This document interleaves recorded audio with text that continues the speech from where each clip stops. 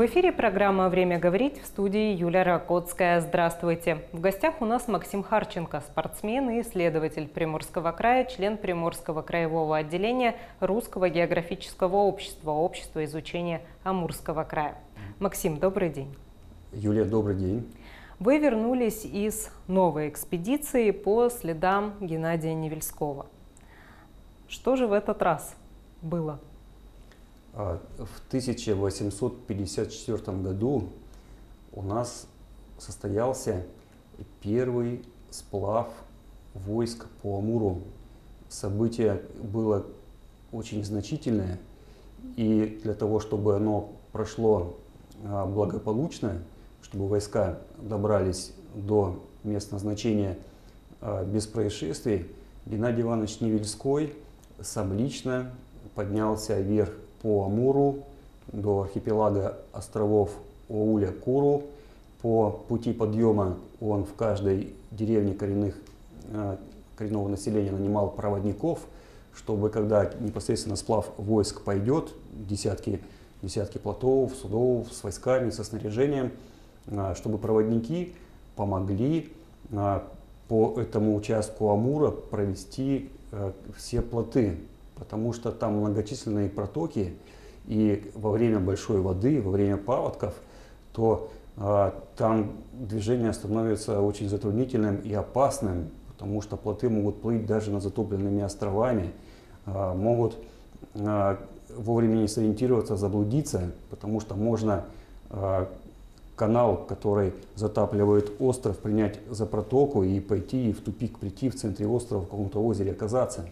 Вот. И поэтому в 1854 году Геннадий Иванович Невельской, а, когда получил известие о том, что губернатор Восточной Сибири Николай Николаевич Муравьев организовал этот сплав, все, он сам лично выдвинулся с Петровского зимовья, а, с Охотского моря, а, со своего военного поста, где у него был штаб, он выдвинулся и быстро, быстро, быстро поднялся вверх по Амуру, вот, до этого архипелага. И раз мы все вместе вот, э, идем по следам адмирала Невельского, то нам нужно обязательно дойти до этого архипелага, и э, это будет верхняя точка на Амуре, докуда непосредственно Геннадий Иванович Невельской во время своей амурской экспедиции пятилетней поднялся вверх по Амуру. И чтобы через этот архипелаг пройти, как раз я организовал в этом году экспедицию. А, старт был в городе Хабаровске на набережной, которая носит имя адмирала Геннадия Ивановича Невельского. И э, финиш был э, в городе Комсомольск-на-Амуре. Получается, от поста Хабаровка, основанного в 1858 году, который потом стал городом Хабаровском, Хабаровском, и до села Пермского, которое впоследствии стало городом Комсомольск-на-Амуре. Расстояние составило 340 верст – и как раз вот по центру, по центру этого маршрута как раз вот есть э, острова, раскиданные на Амуре, которые предположительно и составляют тот загадочный архипелаг. Почему загадочный? Потому что на современных картах этого названия нет. Я даже не могла найти в интернете ничего. Я брала себе для новостей, хотела понять, где ставится ударение, и ничего не нашла. Последние следы этого названия, они есть на карте 19 века одного из исследователей, который пошел а, по Амуру и везде-везде подписывал название деревень коренного населения. И вот это название архипелага Оуля-Куру предположительно как раз и состоит из названий а, поселений на одном и втором берегу Амура. Вот. И э, я снимал на видео. Сейчас э, осенью я поеду по Хабаровскому краю, э, буду встречаться с общественностью, со школьниками, со студентами и показывать им фотографии, видео Амура. И что самое интересное было в этом году, то что я пошел во время паводка, и так в этом году Амур был высокий, и плюс еще подходящий паводок, который, вы все знаете, затопил Амурскую да, область. Да, да. И у меня получилась гонка, самая настоящая гонка с паводком. Потому что каждый раз, когда я разбивал лагерь на э, полузатопленном острове, я втыкал э, палочку на урезе воды в 8 вечера и в 6 часов утра, когда я вставал и собирал лагерь, я смотрел, то, что палочка уже на 15-20 на сантиметров она погружена в воду. То есть за ночь так вот вода очень быстро прибывала. И поэтому я взял очень высокий темп. Понятно было то, что исследовать архипелаг уже не представляется возможным, потому что он уже скрывается Затоплен. под водой. Уже только ивы и трава торчат из дерева. То есть я вхожу в протоку, э, иду и смотрю, что на моих глазах э, Амур, поднимаясь, начинает переливаться через борта острова и вот затапливать, затапливать на твоих глазах, вот просто вот острова затапливаются. Ты проходишь вот несколько километров, оборачиваешься назад, и острова уже не видно, одна, одна трава в воде э, торчит, тут ивы уже в воде торчат, уже все. То есть вот прям волна паводка, она шла за мной, вот, и поэтому из исследовательской экспедиция стала спортивной, начала носить спортивный характер. А, Вы знаете, вот в прошлом году а, я шел по Нижнему Амуру, также где-то ориентировочно 340 верст от Мариинского поста, основанного Невельским, до Николаевского поста. В этот раз вы тоже 340 прошли. И в прошлом году я это расстояние прошел за 22 дня, еле живой, физически психологически дошел до Николаевского поста. И я каждый день, каждый день, когда шел против встречного ветра, буквально выцарапывая каждый километр у Амура, я вспоминал строки из книги Геннадия Ивановича Невельского. А, Здесь есть даты, а, по которым можно понять, с какой скоростью офицеры, морские офицеры, а, передвигались по Амуру. И у меня никогда вот, я понять не мог, как, как, я уже вот практически 20 дней иду, вот эти вот 340 верстов, в книге написано, что офицеры Невельского за 5-5 дней это расстояние преодолевали. Я никак не мог понять, как они этого добивались. И а, в этот раз а, я решил посоревноваться с офицерами Невельского и начал развивать максимальную скорость каждый день на сабборде и проходил порядка 70 километров каждый день. И в итоге у меня получилось пройти вот это вот расстояние 340 верст от Хабаровска до Комсомольска за 5 дней. За 5 дней. И каждый день на сабборде я работал по 10-11 часов на сабборде, чтобы это вот расстояние пройти. И да, теперь я понимаю, то, что а, морские офицеры, они же не сами а, ходили по Амуру, а, многочисленное коренное местное население, Помогали. которое было очень Перевозили. лояльно настроено а, к нашим офицерам, они оказывали им помощь и на своих специально созданных для Амура вот судах, да, вот столетней, вот столетней эволюцией вот судов для Амура, вот, а коренное население как раз офицеров э, доставляло вверх или вниз по Амуру.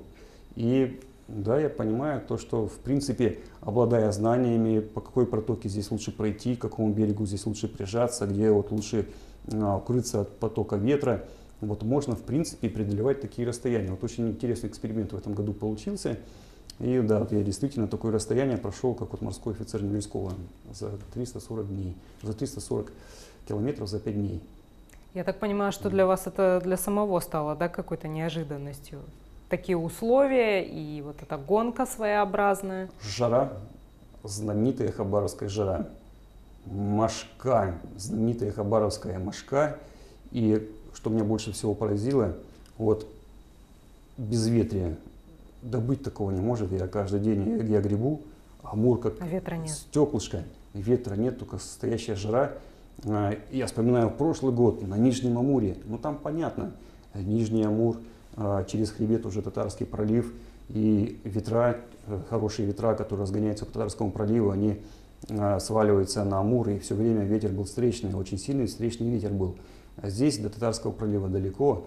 И вот в какой- какой-то яме я такой вот шел, а, и поэтому получилось установить этот рекорд. а, За такое расстояние пройти за 5 дней.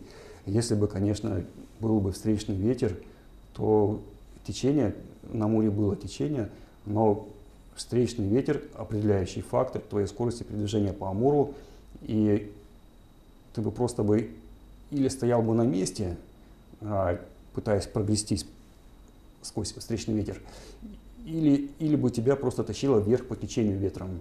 Ну, сабборд ты вместе с багажом представляешь определенную парусность. И поэтому все зависит от ветра. Почему именно сабборд? А, Юля, хороший вопрос. А, Цель экспедиции а, привлечь максимальное внимание общественности легендарной личности. Геннадия Ивановича Невельского и, самое главное, к его заслугам а, в деле присоединения, в деле присоединения огромной территории России. Вот.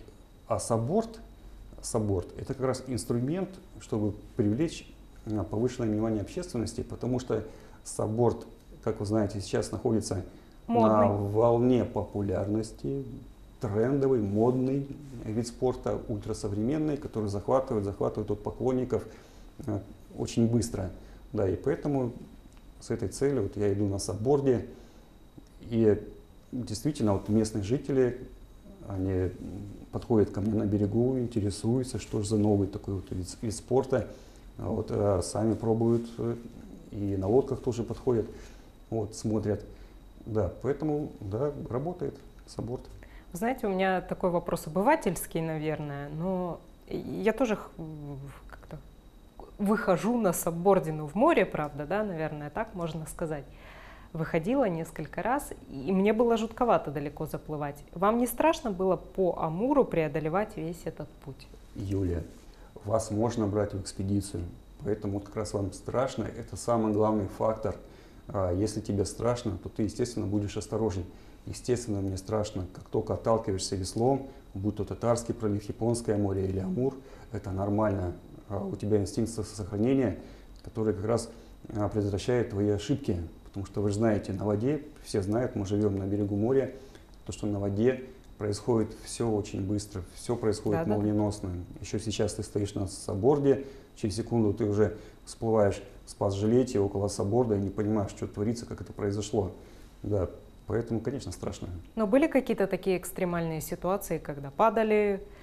А, ну вот сейчас вот единственное, это вот мой второй опыт идти по Амуру, но первый опыт идти во время паводка, когда а, в протоке иногда течение стремительно а, ускоряется, и а, если ты входишь в протоку, ты острова еще видишь, но когда через, допустим, час ты доходишь до конца этих островов, то острова уже затоплены, и поток, который тебя все это время нес ровненько между островами, резко поворачивает тебя и несет прям на торчащие из воды остовы высоких ив. Вот. И если ты вовремя не среагируешь, не отгребешь двумя-тремя мощными грибками, не изменишь свое направление, тебя просто потоком прижмет, затащит под эти деревья, и там, как в центрофуге, будет тебя вращать, и выбраться оттуда вот, уже будет под вопросом, выберешься оттуда ты или нет. Вот. Поэтому да, конечно, Амур а, серьезная река, и понимая это, Геннадий Иванович Невельской сам лично, чтобы проконтролировать безопасность сплава морских войск, поднялся и все проконтролировал, чтобы как раз вот безопасность сплава была обеспечена. А, мы очень много говорим про личность Невельского. Давайте коротко, я хочу просто для нашего молодого поколения напомнить, наверное, да, раз уж мы говорим про эту экспедицию, чем эта личность столь знакова для Дальнего Востока? А, друзья, далеко ходить не нужно. А, когда после первой спортивной экспедиции в 2017 году, когда я прошел все побережье Приморского края, я начал строить планы на Хабаровский край, я э, задал себе вопрос, а, ну, я сейчас пойду по Хабаровскому краю, а, чем он интересен, какая у него история, и в Википедии э, сразу, конечно, у меня вот имя Неверского э, вышло, и я начал читать историю освоения Хабаровского края, присоединения его, и читаю.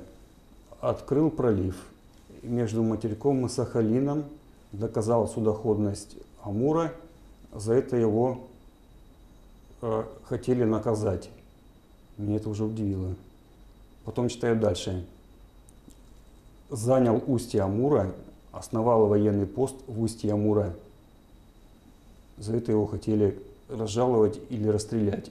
Вот здесь как раз вот у меня как так? Ну, человек э, для России... Который открывал Дальний Восток. Да, делает в таких сложных условиях э, непреодолимых. А здесь вот правительство, министры так на это реагировали. Вот начал постепенно, постепенно, постепенно в это погружаться погружение приводит к этой вот книге. Вот, подвиги русских морских офицеров на Крайнем Востоке России. И когда я начал погружаться в детали, ну, честно говоря, конечно, у меня прям перелом сознания такой произошел. У меня, прямо говорю, волосы дыбом, мурашки по коже. А, во-первых, его никто не просил, его никто не заставлял. То есть это его личное, личное решение. А, и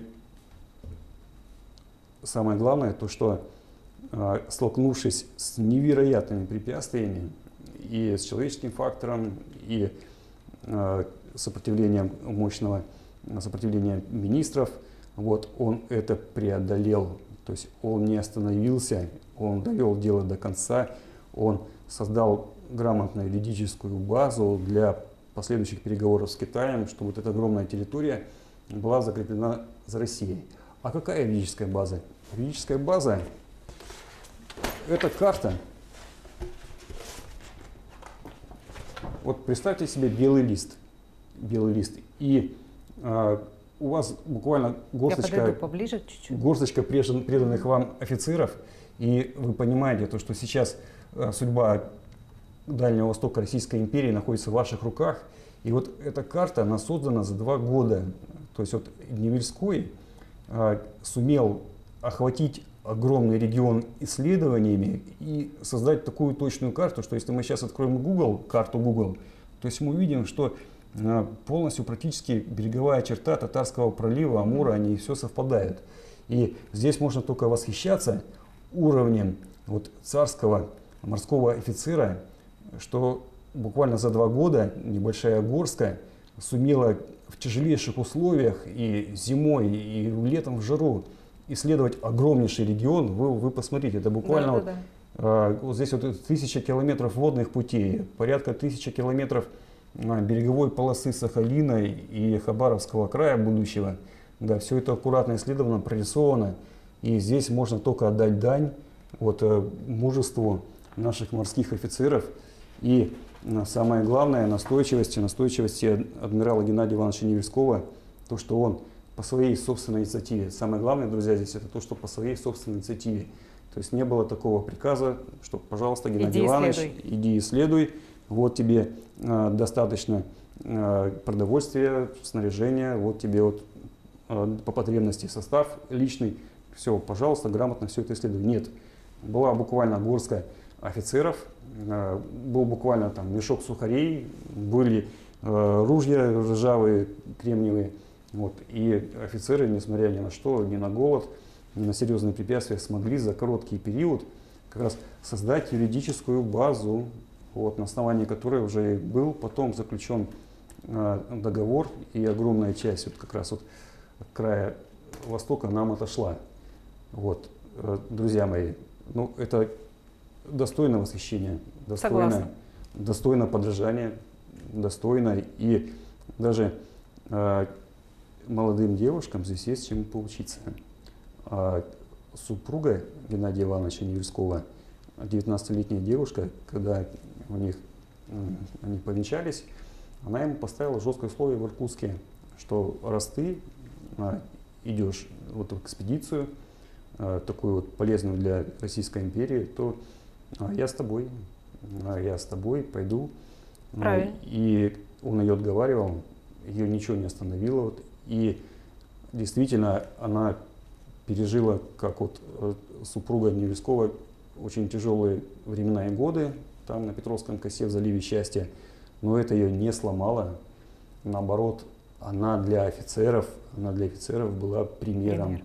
Вот офицер после экспедиции возвращается в Петровское зимовье на доклад Геннадию Ивановичу Невельскому. Весь обмороженный, весь вот худой, вот весь такой еле живой, больной. Вот. Но как только он в избу входит, его встречает вот супруга Невельского, Екатерина, и он понимает, на что жаловаться, на что жаловаться, если такая хрупкая девушка э, в таких вот условиях нечеловеческих, она, она держится достойно. И у него сразу у офицера плечи расправляются, вот сразу он вот так вот раз, все, я же русский морской офицер. Вот, и, и все, и Геннадий Иванович докладывает, и вот э, кусочек карты, который там нацарапан на бересте, вот все показывает. И Геннадий Иванович потом при свечах вот вечером вот все вот эти вот кусочки карт. Собирал. Которые, да, вот он детально прорисовывал все. Вот если вот сейчас мы здесь посмотрим, здесь вот даже видно, видно вот почерк Геннадия Ивановича, вот видно угу. почерк Геннадия Ивановича. И самое главное, вот мы видим а, то, что вот он еще простым карандашом примерно накидывает. Вот где-то вот здесь вот озеро Чикчигир, а где-то вот здесь вот озеро Эворон, вот все вот он еще, угу. еще планирует, детально вот планирует. Тут прямо это рабочая карта, на основании которой как раз вот потом и глобальная карта была создана. Вот, и потихонечку, по кусочкам э, я вот организовываю экспедиции и иду по следам, по следам Геннадия Ивановича Невельского. Но вот. вы планируете весь маршрут преодолеть? А, хороший вопрос, хороший вопрос. А, по кусочкам, в перспективе. А, самое главное участки, да, я планирую пройти. А, есть, чего я очень боюсь. В прошлой экспедиции по Нижнему Амуру, когда ночевки были сопряжены с визитами медведей, угу. которые ходили вокруг палатки, которые э, нюхали тебя через стенд как горячую котлету, пытались воровать гермомешки из-под палатки, выковыривать. Вот ты в палатке вот лежишь и думаешь, ну как реагировать на то, что вот медведь вот буквально вот э, сейчас вот выковыривает из палатки гермомешок, который чуть торчит. То есть ты можешь прямо вот руку вытянуть и вот взять, и вот его, он, да. взять его за лапу. Вот, ну, как на это реагировать? И э, я хочу пойти дальше по Охотскому угу. морю, к Шантарским островам. Но это значит, что каждую ночь не один медведь будет приходить к тебе. Там прям будет конкурс за то, кто подойдет к тебе и там вот непосредственно в чем распоряжении ты будешь. Там прямо у медведя они будут разыгрывать, кто вот, вот прямо вот сейчас вот пойдет к твоей палатке. Там настолько их много. Вот, конечно, хочется мне охватить огромнейший регион. А, и раз офицеры Невельского не прощали свои исследования и зимой, то в этом году я организовал первую зимнюю экспедицию а, в залив счастья, к Петровскому зимовье. И посмотрел, с чем сталкивались офицеры морские, то, что им не позавидуешь. Вот буквально через неделю у меня так потрескались от э, аллергии на холод кончики пальцев, то что я не мог завязать. Это когда на кайте вышли? Да, я не мог уже завязать шнурки на ботинках. То есть вот настолько, я все время в рукавицах, все время в перчатках, но настолько аллергия на холод была сильной, никто от этого не застрахован. То, что говорит, пальцы так полопались. Вот. А офицерам же нужно было в этих условиях зимних, им еще нужно было доставать секстант, вот, накаленный от холода вот, кусок металла, и брать координаты тех мест, где они находились. Вот, ну, только нужно дать им должное, через что они прошли, чтобы так детально эту карту нарисовать. Вот, и в дальнейшем я планирую пройти по их следам зимой и по притокам реки Амура, и по хребтам. И сейчас выяснился новый фактор, который а, возник, это волки. А если раньше волки были где-то в районе Якутии и очень редко приходили вот а, к бассейну Нижнего Амура, то сейчас а, уровень снега стал меньше, кормовая база как-то там изменилась у волков, и они уже второй год активно приходят и вот уходят вокруг Николаевска на Амуре. И как раз вот у меня вот в марте была экспедиция в залив счастья, и вот передо мной как раз вот в заливе счастья застрелили волка, который весит 70 килограмм. Юля, представляете? Ну, больше меня, да, почти. Волк, волк 70 килограмм. И да, вот такой вот фактор возник. Да, поэтому, ну, между нами говоря, каждая экспедиция моя – это до встречи с неадекватным медведем. Вот, или с э, волчьей стаей серьезной. Вот, поэтому, ну, вот такие вот факты. И офицеры Невельского также не были застрахованы от этих от фактов. диких зверей, конечно. Потому что в их распоряжении были кремниевые оружия. Представляете? Это вот тебе нужно отвести вот такой вот курок с кремнием, э, и непонятно, сработает он, не сработает. Если условия влажные там, или зимние, вот у тебя есть только шанс одного выстрела. Ну, то есть морские офицеры находились в таких же условиях. Но вы без какой-либо защиты идете туда? А, ну, вот у меня два охотничьих ножа. Вот, зимой я беру два охотничьих ножа, если дело дойдет до драки с волками, ну вот хотя бы ну, для самообороны вот у меня два охотничьих ножа. У офицеров Невельского было личное оружие, там, кинжал или сабля, ну вот у меня охотничьи ножи. Что вы с собой брали? То есть я уже услышала, что брали с собой офицера, а что же брали вы с собой в экспедицию? А по питанию, По питанию я примерно так же, как офицеры. Это сухари. Мы на даче с мамой из подольского хлеба э, заготавливаем сухари и в экспедицию я их беру.